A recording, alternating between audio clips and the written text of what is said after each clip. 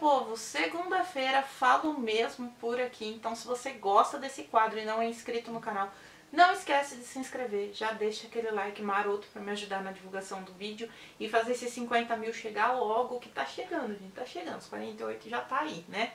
E bora fofocar. Estourou hoje no Instagram a mais nova polêmica de Bianca Andrade. Bom, gente, se eu voltei a fazer falo mesmo, eu não acho justo não comentar só porque eu falei que eu não falaria mais dela aqui no canal. Não tô falando mal dela, estou falando de uma polêmica onde ela se viu envolvida na realidade, né? Porque o que acontece? Tem uma, uma loja de bebê lá em Orlando, onde Bia está, inclusive que ela vai comemorar o seu aniversário hoje, tá? É, que ela faz parcerias com vários youtubers e youtubers também que vão pra lá, né? Pra ajudar na divulgação, porque o pessoal que vai do Brasil normalmente vai lá pra Orlando, onde é a Disney, né? Então, eles esperam que as gravidinhas conheçam a loja. E já teve polêmicas com outras youtubers aí que não tinham filhos e foram até a loja fazer jabazinho, tá? Blogueira que tirou foto com carrinho de bebê na entrada, sendo que não tinha nem possibilidade da danada ficar grávida. Blogueira que comprou pacote de fralda lá, sendo que nem filho tinha, enfim, já teve de tudo. E a nova polêmica foi envolvendo Bianca Andrade, que apareceu nos seus stories rindo, como sempre, né? Aquela risada que você percebe que ela tá nervosa porque ela não tá à vontade com o que ela tá fazendo. Mas ela tinha que fazer, porque até onde as más línguas dizem, esse jabá não teve nem empresário negociando, foi a loja direto com a Bia. Ela recebeu o cachê ali, ó, na mão, gente, para fazer a bagaça. Então ela foi lá e o que, que ela usou de desculpa? Que ela vai nessas lojas para ver, né? E quando ela vê aquilo ali, ela começa a inventar sobrinho, filho de amiga, tudo para poder comprar porque ela acha fofo. Gente, quem nunca entrou numa loja e se viu de frente para alguma coisa que não tinha necessidade de comprar, mas queria muito comprar, então acabou achando uma desculpa. Eu já fiz isso. Se você não fez, gente, acho que você não é desse planeta, tá? Mas enfim, não tô aqui para defender a Bianca, mas também tô aqui para dizer algumas verdades, tá? Como essa que eu acabei de falar. Então vamos lá.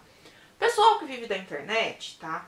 É, a gente vive basicamente do quê? Do AdSense, do YouTube e de propaganda, de vídeos, é, de publicidade, tá? E o que, que acontece? Normalmente os inscritos não aceitam isso, gente. Aqui no canal mesmo. Enquanto eu tava fazendo vídeo só de maquiagem, que são vídeos que dá pouca visualização pra mim. E muita gente já me falou que não é por falta de eu saber passar o que eu tô passando. Simplesmente porque vocês gostam disso aqui, ó. Da gente conversando vocês preferem mil vezes um vídeo onde eu dou minha opinião sobre determinado fato do que um vídeo onde eu estou passando algum ensinamento. Então, o que, que eu fiz? Para aqueles que estão aqui, que gostam muito do conteúdo da maquiagem, ela vai estar tá presente no canal, pelo menos uma vez na semana. Mas vocês têm que entender que isso aqui também é o meu trabalho. Eu deixo de ficar com a minha família, eu deixo de sair para poder gravar, editar, publicar e divulgar. Não é um simples processo, não é uma coisa rápida de uma hora. Tem vídeo aí que, se você somar desde a hora que eu sento para gravar até a hora que eu termino de divulgar ele, foram mais de seis horas de trabalho, tá? Então, é, eu espero que vocês entendam isso. Dito tudo isso, eu acredito que quem acompanha um youtuber, é, independente dele viver envolvido em polêmicas ou não, tem que entender que a publicidade faz parte do nosso ganha-pão, faz parte do nosso trabalho. Eu, infelizmente, não tenho publicidades rezamos para aparecer. Se você estiver sentindo diferença no áudio desse vídeo, deixa eu te avisar, acabou a bateria do meu microfone. Meu microfone, eu não sei onde vende a bateria daquilo ali. Então, assim, tô gravando com o microfone integrado da câmera, então se o áudio não estiver tão puro quanto costuma tá, é por isso. Se você achar que o áudio tá melhor, assim, me avisa nos comentários, que aí eu nem compro a bateria pra essa merda, tá? Então, voltando ao assunto. Dizem que a negociação não teve nem pessoas no meio, foi direto da loja com a Bianca. E a Bianca fez esse jabá, que estourou por quê? Porque ela mesma caiu na armadilha. Ela nem tinha terminado de postar os stories como ela tinha, acho que combinado, que seriam stories e foto. Ela já foi lá no Instagram dela, postou a foto com a legenda assim: Vocês acharam que só porque sua mamãe não iria passar na loja Macro Baby? E eis que se instaurou o caos, né? gente falando que ela estava errada, gente falando que ela estava certa para deixar ela quieta. Enfim, tudo que a Bianca faz praticamente vira notícia, vira polêmica. Se ela tiver certa, ela tá errada. Se ela tiver errada, ela tá mais errada ainda. Esse é o pequeno problema. É, é o caso do Wesley Safadão também. Todo mundo pegou ele para Cristo. Ela é a bola da vez do YouTube, não adianta. Você falou de Bianca Andrade, você tem visualização. Você pôs uma foto dela na thumb do seu vídeo, é certeza que você vai ter visualização. Então, assim, particularmente, eu vim aqui hoje falar a minha opinião sobre essa polêmica, enfim, comentar com vocês isso. Eu não acho que seja algo que ela esteja errada sozinha, tá? Porque assim, se a marca, por sua vez, resolve atrelar o nome dela com pessoas que não tem nada a ver com o produto em si, isso daí é um problema da marca.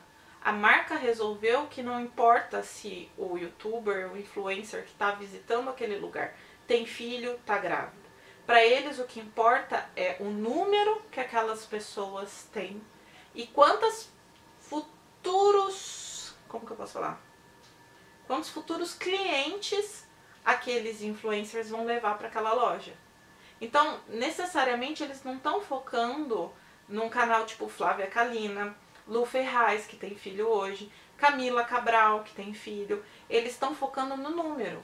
Você pode reparar, se você for ver as outras divulgações dessa loja, que são sempre youtubers na casa de 2, 3 milhões. Eles não fazem, não fecham propaganda com youtubers pequenos. Então as lojas veem número. E essa Macro Baby tá mais do que na cara, que ela não valoriza o influencer que tá ali, ela não valoriza o público daquele influencer, e sim ela olha números, ela quer divulgação.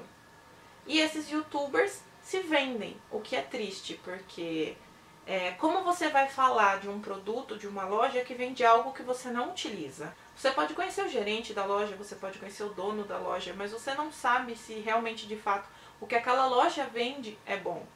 Então por isso que é muito importante antes de você fazer uma divulgação, você olhar o que você vai divulgar.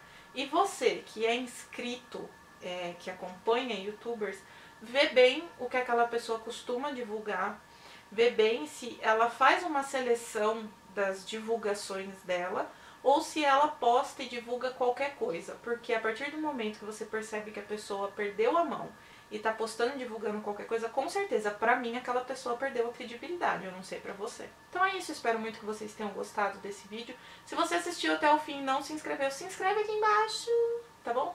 Um beijo e até o próximo vídeo.